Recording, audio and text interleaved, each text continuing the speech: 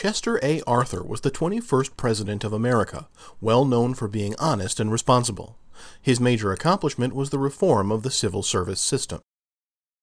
Chester Alan Arthur was born on October 5, 1829, in Fairfield, Vermont, the son of an abolitionist preacher. His father was an Irish immigrant, and his mother came from Canada. He was named after Chester Abel, the doctor who assisted in his birth. From relatively humble beginning, he rose to the highest office in the land.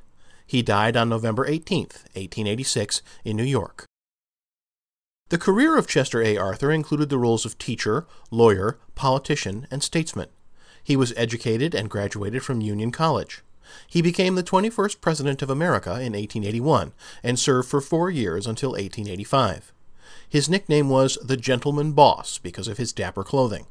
He was a fastidious dresser with an extensive wardrobe and would often change his clothes several times a day. Chester A. Arthur married Ellen Lewis Herndon Arthur on October 25, 1859. They had two sons and a daughter. His wife, Ellen Herndon, died before he took office. The president's sister, Mary Arthur McElroy, served as the unofficial First Lady and also looked after his children. Chester A. Arthur belonged to the Republican political party. He was 50 years old when he was inaugurated as the 21st president. Inauguration is a president's swearing in ceremony. Chester A. Arthur was never elected to the presidency, but succeeded to office after the assassination of James Garfield. Chester A. Arthur was an imposing figure, standing at 6 feet 2 inches tall and weighing approximately 225 pounds. He had wavy brown hair, black eyes, and had side whiskers and a mustache. He hired the most famous designer in New York, Louise Comfort Tiffany, to transform the White House into a showplace befitting the office of the American president. During his lifetime, he played a key role in major events of the era.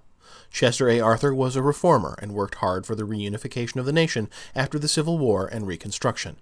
He supported the Chinese Exclusion Act of 1882 and the Pendleton Act for Civil Service Reform.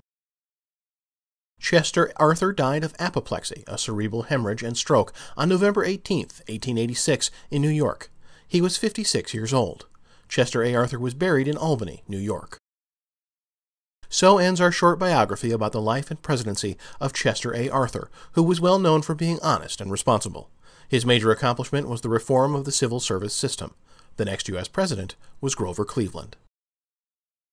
This video is one of a series covering all of the American presidents and has been created by www.facts-about.org.uk as a free educational resource. This unique collection of videos has been developed to enable students to gain a fast overview of the lives of each of the U.S. presidents, together with the key events which occurred during their presidency. Discover the range of videos that are available on the Facts About website and use them as a fast dynamic learning aid which will add variety to conventional study methods and help to increase knowledge retention.